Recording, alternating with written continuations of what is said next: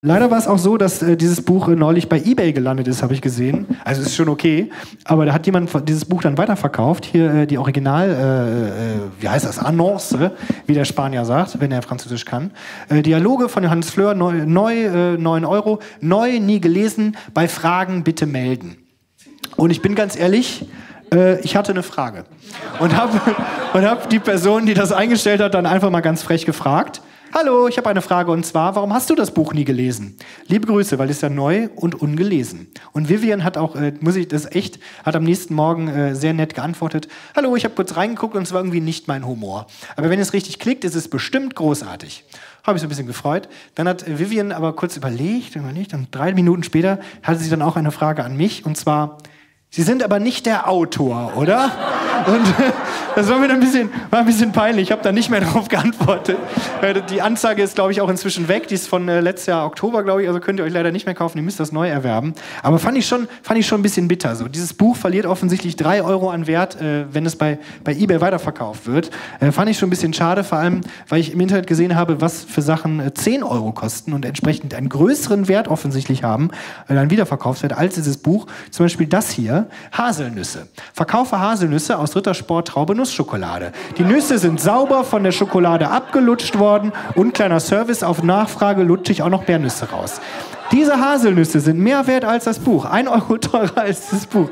Also ihr könnt euch überlegen, was hättet ihr lieber? Oder falls ihr sagt, nee, Haselnüsse sind nichts für mich, dann gibt es hier noch ein Bügeleisen, kostet auch 10 Euro, kann man auch erwerben.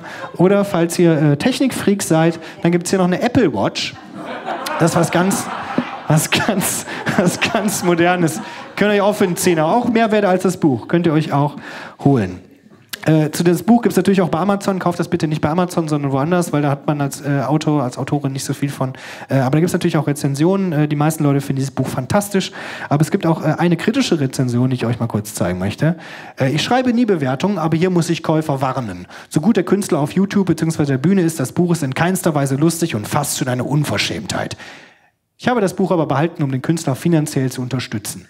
Das fand ich sehr nett von Christian. Das hat mir durch den Sommer 2020 geholfen, dass er das Buch nicht zurückgeschickt hat. Von dem Euro habe ich mal schön ein paar, ein paar Süßigkeiten geholt und den Sommer geschafft. Und äh, mich trifft sowas. Mich, mich trifft negative Kritik. Da ärgere ich mich so, glaube ich, alle Leute, wenn die gesagt bekommen, du hast deinen Job nicht so gut gemacht, trifft mich natürlich.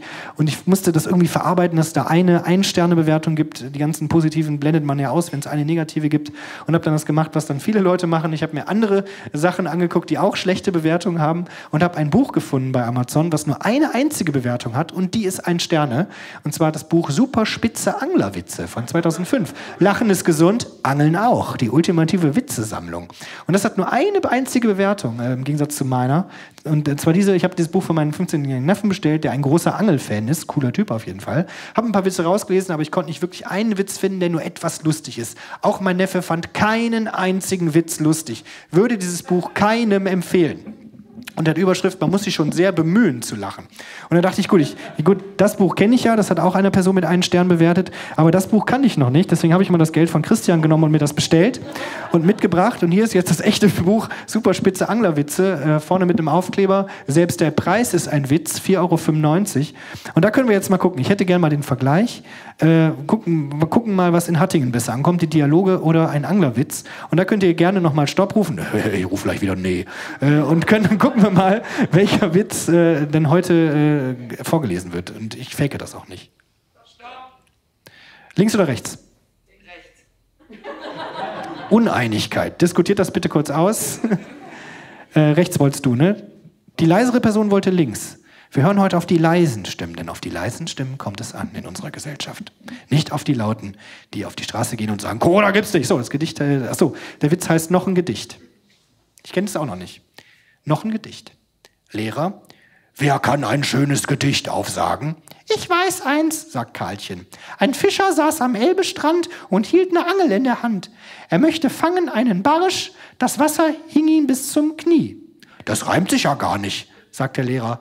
Doch, sagt Karlchen, warten Sie mal, bis Flut ist, dann reimt sich das. Gut, man muss sich schon sehr bemühen zu lachen, da hat äh, der Mensch im Internet völlig recht. Gut, äh, ihr könnt euch selber entscheiden, welches Buch äh, holt ihr euch. Falls ihr aber sagt, Johannes, hau ab mit deinen doofen Büchern, ich will was komplett anderes.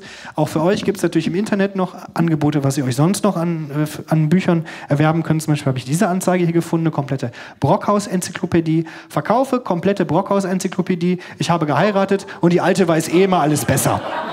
Vielleicht ist das dann ja was für euch.